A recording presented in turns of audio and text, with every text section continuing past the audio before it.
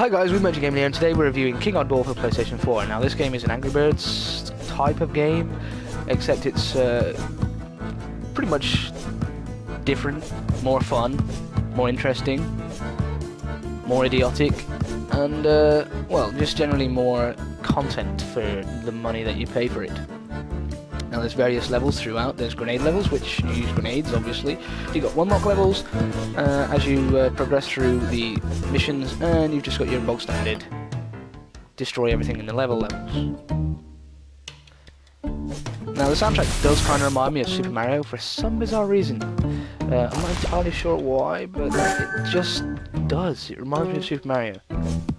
But the art style is unique, and as always, it's a great fun little game really is. And I like reviewing indie games. These are the games I like to review because these are the guys that take time in uh, making their games more quirky and more available to the casual audience.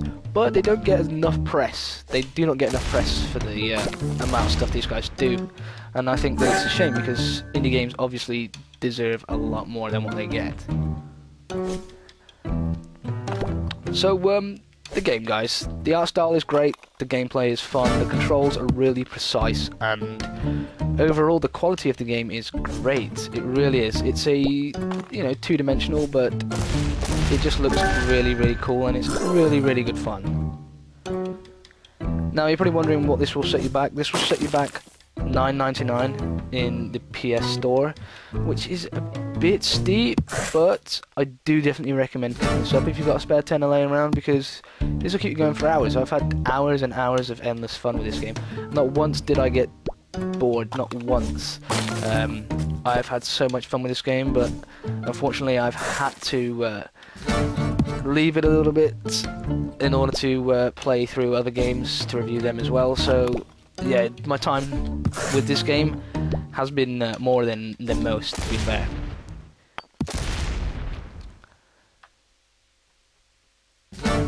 Now, as you can see, this is the game, you know, this is pretty much it.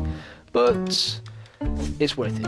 It's worth it. It's worth the amount of fun, and if you're playing with families, etc., it's even more fun, and it's just quirky. It's a quirky way of, of um, visualizing Angry Birds, really, and it's better. I prefer this Angry Birds, hands down. This game is better than Angry Birds, guys. I'm sorry, people are going to disagree with me, but it's much better than Angry Birds. It's much more fun, and it's just great.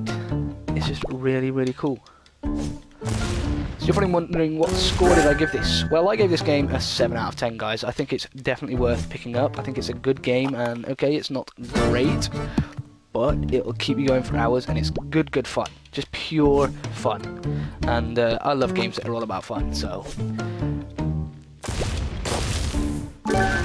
As always guys check out the written review which will be down in the description at a later date. I haven't quite got around to writing a review for this yet which is uh, kind of disappointing for me as I love writing reviews but I've been trying to I've been playing it more than I have been writing unfortunately. Um, so yeah. Check out the written review when it's down in the description check out my videos, slap the like button like you'd slap some fan bitch's ass, and I'll see you next time. Cheers, guys.